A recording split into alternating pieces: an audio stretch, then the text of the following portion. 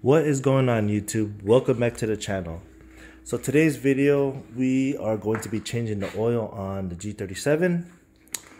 I did run it up to, I think a little over 3,000, maybe 4,000 miles with the oil that that's in it right now.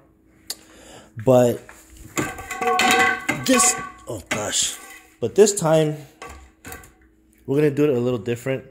I did buy a new tool so that I can service our cars and hopefully it makes life a little easier. So this is what I bought guys. This is an oil extractor. Uh, comes with a few extra seals and fittings. I bought this on Amazon for 70 bucks uh, shipped to my house. And uh I hear nothing but good things about these extractors, these pumps. So this brand right here is by Four Uncles. Uh, so far, the build quality to me is good. There's nothing cheap on it, and I'm very happy with how everything looks and feels. Uh, it does come with separate hoses so that you know you can use the right size for your dipstick. Every car has a different size dipstick. So comes with different hoses and like I said it comes with extra seals and fittings just in case you need to like extract anything else. Uh, this is a this is not a hard line right here but you can use it for other things. Uh, you can extract oil, you can extract water, coolant, uh, your brake oil, uh, brake fluid, and whatever you needed to use uh, to make less mess. So what we're gonna do is, I already got my car on jack stands, and I did a walk around after so long. I went underneath, I checked the test pipes, I checked the drive shaft, uh, differential, uh, engine, and there's no leaks and there's nothing loose and i'm honestly i'm surprised guys. Because i've been driving this car often uh, lately so i'm just surprised that it's still running strong and there's nothing wrong with anything. Um, eventually something's gonna go get loose or start leaking but you know that all depends on how you drive your car. So anyways uh, we're gonna go ahead and start extracting the oil. Um, what i'm gonna do Take out the dipstick. I'm gonna make a little mess here because I'm only I'm only doing this with one hand. So check out that oil. It is a little little brown there. So put that there. Just wipe it a little bit. Just place that to the side. And I'm gonna use the smallest one. Actually, yeah, I'm gonna I'm gonna try to use the smallest one first, just to you know try to see where this goes. So here we go, guys. And this is a long tube right here. Look at this, super long. So I'm gonna shove this down.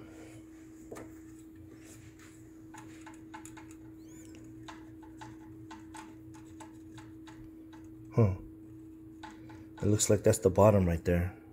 So what you want to do is kind of like twist it around and see if uh, it'll go anymore. But I feel like that's the bottom.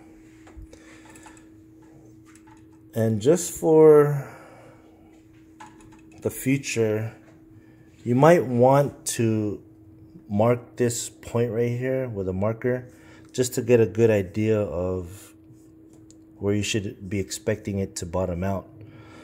Um, yeah, I, I just I feel like that's the bottom already. All right, well, let's connect another hose. So what you want to do is get this hose. This is the main hose right here, and this is a fatter line. And you want to get the pump. Put this to the side. So here's the pump, guys. What you want to do is move this to the side and this is where you're going to connect the main hose, which is this right here. So, put it right here. I if you guys can see. Push it down, and then just lock it in, just like that. You guys can see that lock right there. And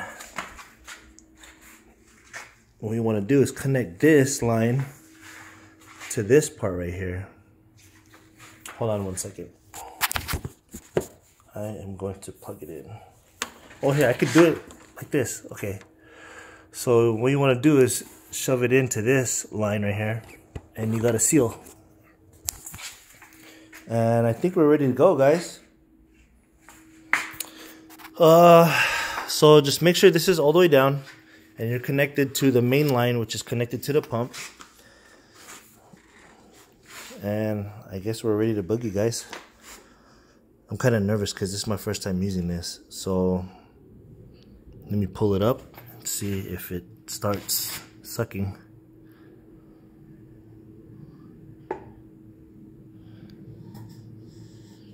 Oh, I hear it already.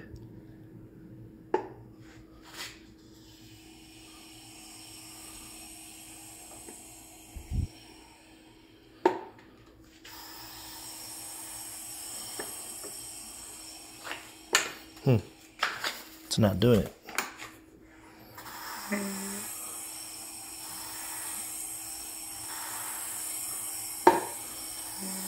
I don't see it coming up. Oh, there it is, guys. Look. It's coming out right there.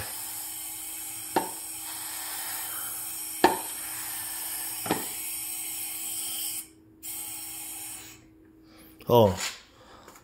So that's open. I guess you have to close this breather. Let's see how fast it comes now. Oh yeah, there you go. It's coming faster now.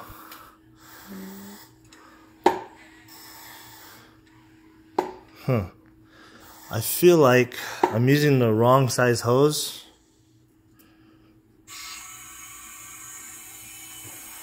Oh, well maybe it needs to be open.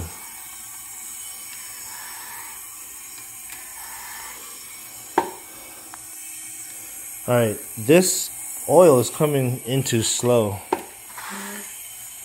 See? It's just right there on me. I think I'm to change the hose. Hold on one second, guys. Alright, so there's a next size up right here. I think this hose right here was just too small. So not a lot of oil can like travel through that tube so that's why it was kind of going slow. So I'm gonna go to the next size up which is a lot fatter. And let's see how this works. I hope it goes all the way down.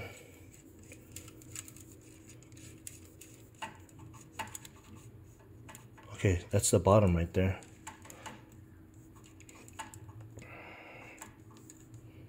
And again guys uh, I would mark it right here just so that you know what's the bottom and how far it goes down. You don't want to force it down because sometimes maybe the tube might bend and then it might just come back up like that. It is like a straw, so so I'm, I'm pretty comfortable with it right there. So let me connect this hose. What the heck is this? Oh gosh, I don't even know what this is, guys. Came with this um, this metal thing right here. I don't know what that is. Alright, so let me connect this hose again.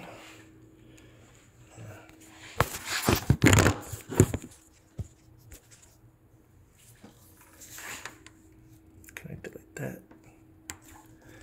Alright, so it's in. It's connected. So let's try this again.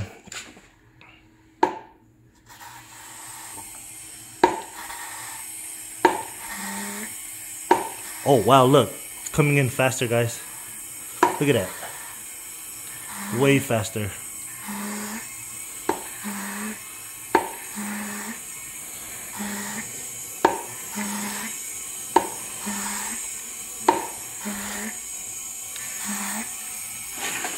Oh no! Wow, this fitting just came out. All right, so the fitting came out, so nothing to worry about. I mean, it's easy fix, so I just put it back in. So let me try this again. Oh, there you go, see? Things coming, coming quick again.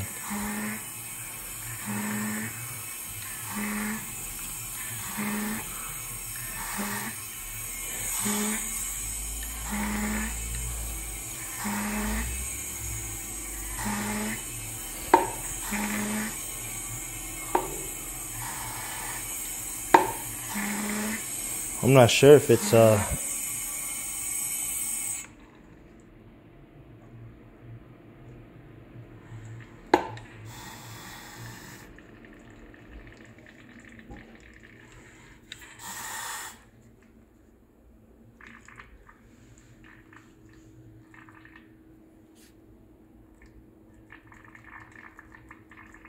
I think when you get a vacuum, you close this breather valve and it, it, it becomes like a siphon.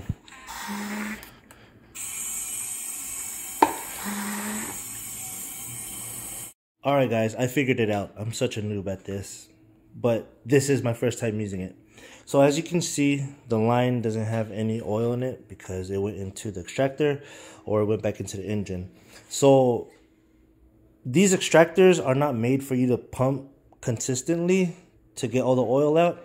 What you have to do is you have to pump until the oil starts coming into the the canister. And once it's once you hear it start uh, dripping into it you stop pumping because it creates a, a siphon and it starts taking it all out.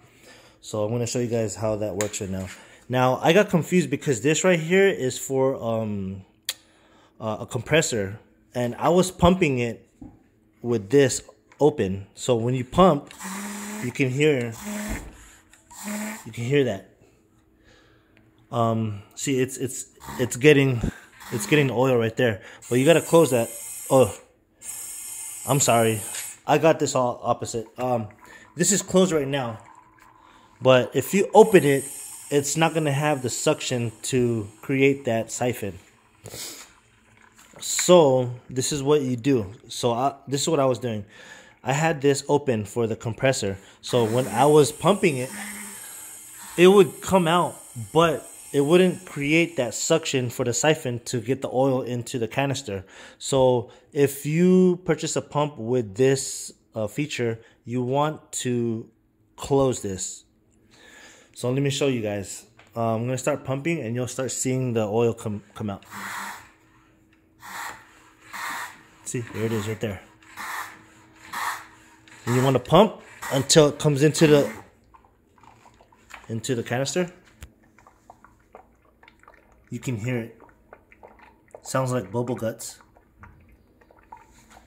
So what you want to do is just let that do its job. And do another pump. See, there's a lot of vacuum in there already. So what happens is once it gets a good siphon going, it will start coming out of the engine into the, the pump extractor. And what you want to do is you want to you want to watch your level. See, I'm at the first line right there. You can see uh, when it's done, it should you should start seeing the hose empty out or shaking. And I believe this is one liter right here. One, two, three, four, five or I'm not sure how I'm not sure the capacity of it but I'm gonna let it do its job and I'll get back to you guys. All right so that siphon that I did the first time got it up to that point. And it looks like it went away. So I'm gonna go ahead and do a couple more pumps see what it does. See? There, there it is right there.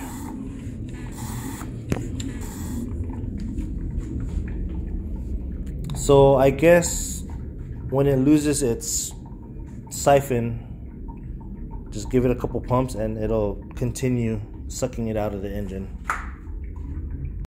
Okay, so I'm at the bottom already. Uh, it's almost empty, but I want you guys to hear how it sounds like when it empties out.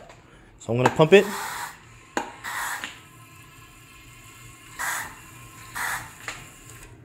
Oh. Well, Actually, no. There's more, guys. But I'm not sure if you guys heard that, but it was starting to.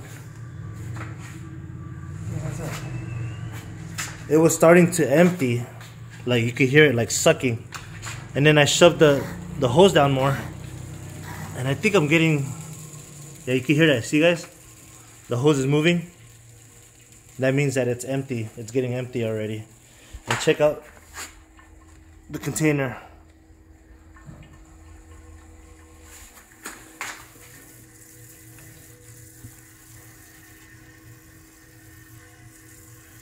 All right. Let me see if I can get more.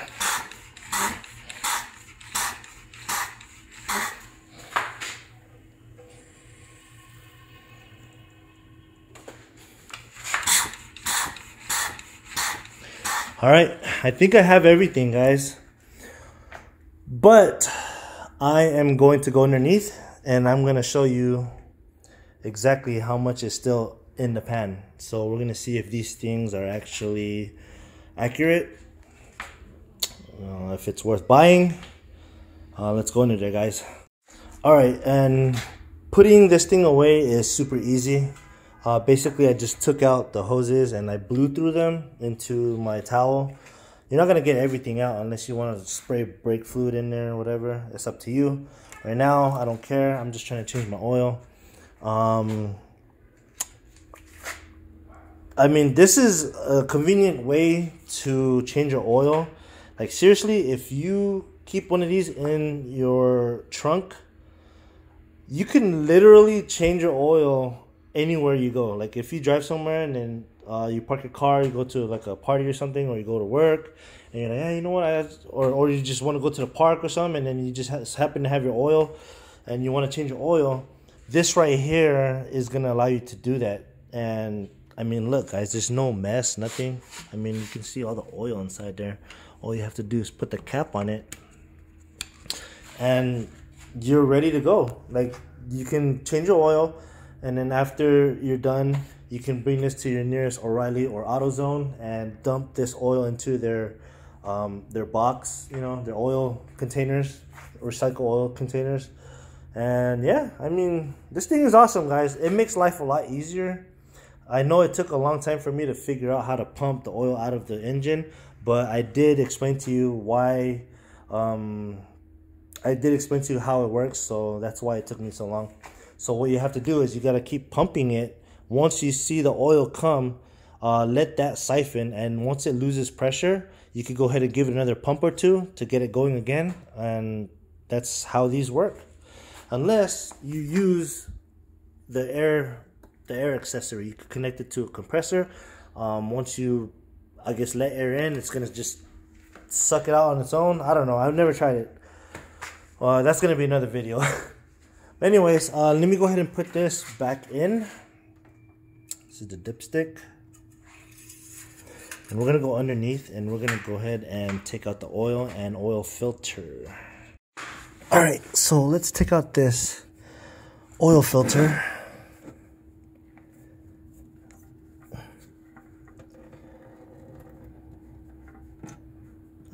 I'll let that drain. And we're going to take out the drain plug.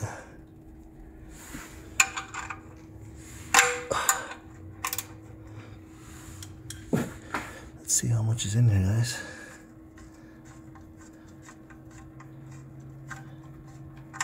You ready for this? Oh, wow. It took everything out, guys. Look at that. It's not even dripping.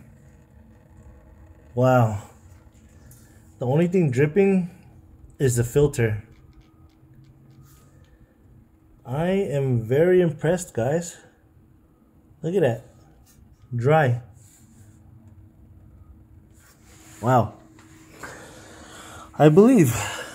I believe, guys. So this is how much oil came out. As you guys can see right there it says five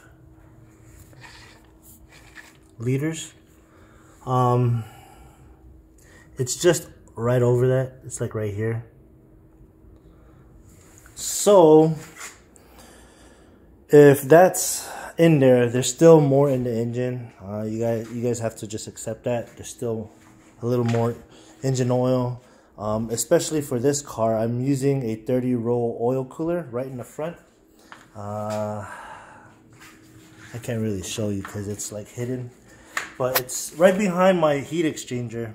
Uh, I got two 30 row oil coolers, one for the engine and one for the transmission.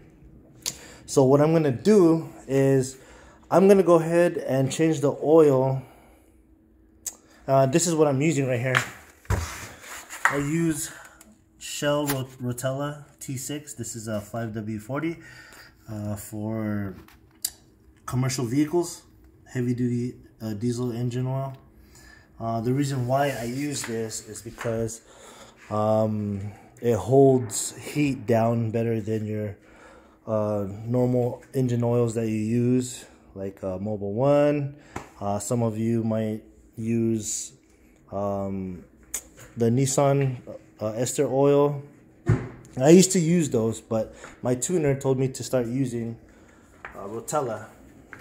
And for our filter, uh, some of you might not know this, but Ford does make a oil filter. I guess you can use a cross reference at your local store, but um, the reason why I use this because we have a Ford F250 and we use nothing but OEM spec parts on it or replacement parts and motor motorcraft is like OEM part for Ford and I found out that you can use uh, motorcraft parts for our cars. They actually make an oil filter for our car.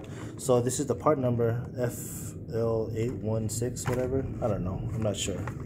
But this is a good filter, guys. I I noticed that my oils are a lot more clear using like Fram or all the other filters that you can buy at O'Reilly or AutoZone. I noticed that this right here does a better job, and I'm not just saying that. Uh, you guys saw my dipstick, and that was like around 4,000 miles already, maybe almost 5,000. But I do change the oil on this car uh, more often than the other cars. So yeah, if you guys want, uh, this is the part number. Check it out. So let's put this on.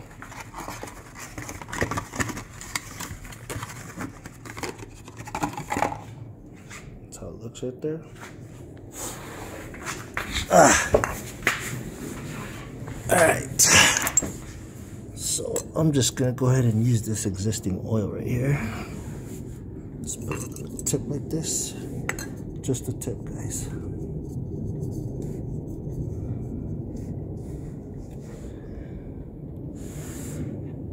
All right, looks good.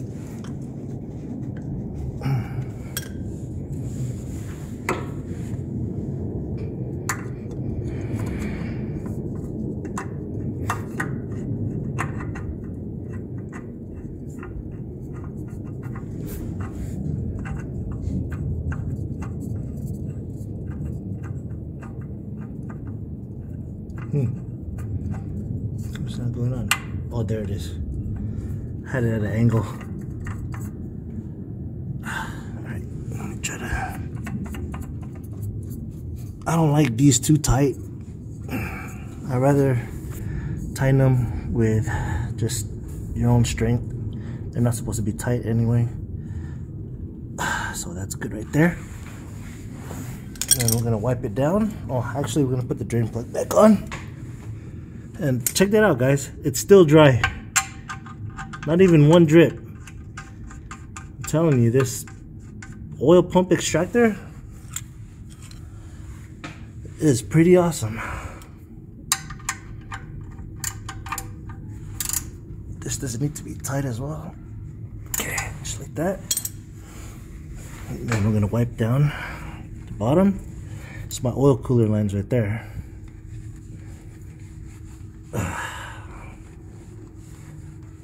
That's it, guys. Look at that.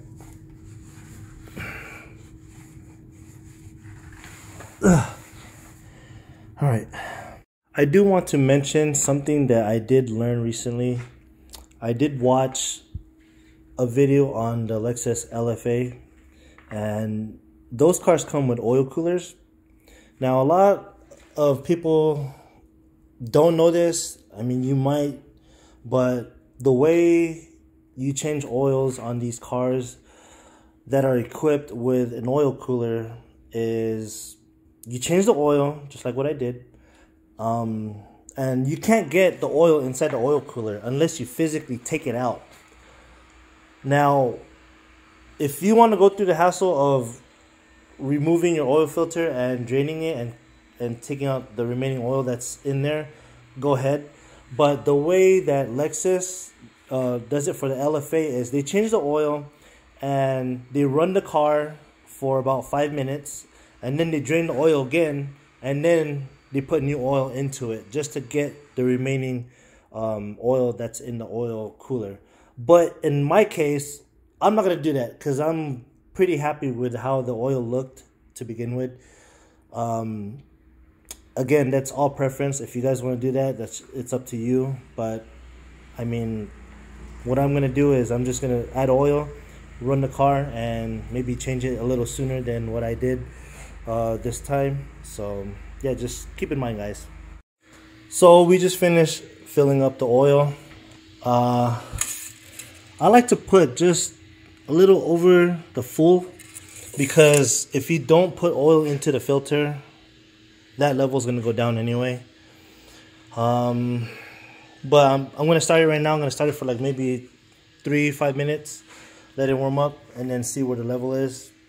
Um, I don't know if you guys have this problem, but this oil cap is hella hard to take off sometimes. So what I do is I just hand tighten it to like where I can undo it because sometimes I need to get some vice grips to unlo- like loosen up the oil cap. Not sure if you guys have the same problem.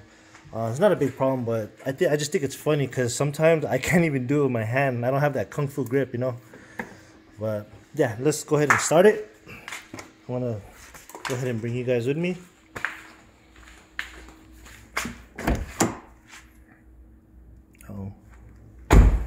My keys at? Make sure your work area is cleared. No tools, no rags. Underneath is nice and clean, no tools. Dipsticks all the way in. Oil cap is tightened. Let's go for it, guys.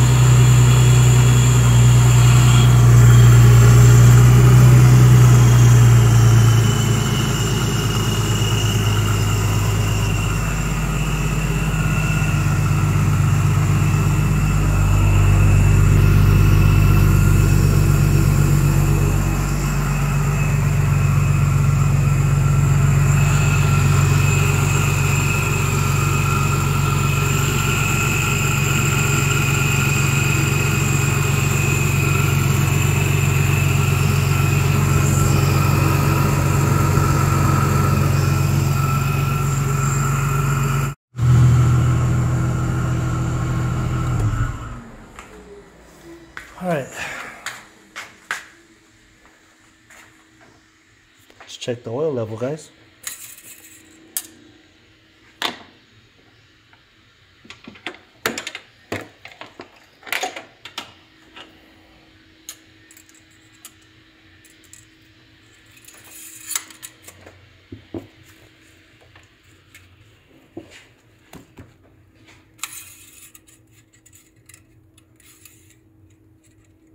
Hmm. As you guys can see, I'm like way off. I'm like at the halfway point. But that's not a bad thing, guys. That means I didn't put enough oil in it to cover for the oil filter. So let's go ahead and add a little bit more.